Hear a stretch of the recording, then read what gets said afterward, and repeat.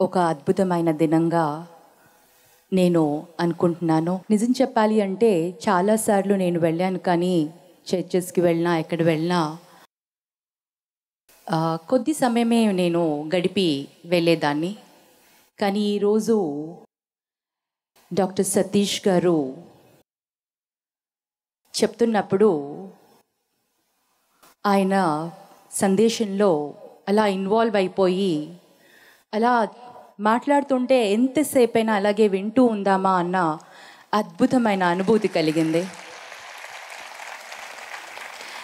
చక్కగా ఆయన సందేశాన్ని ఇచ్చారు. ఈ మూడు ఉదాహరణలు ఏదైతే నేను విన్నానో అవి చాలా స్ట్రాంగ్గా నా మైండ్లో ఉండిపోయాయండి.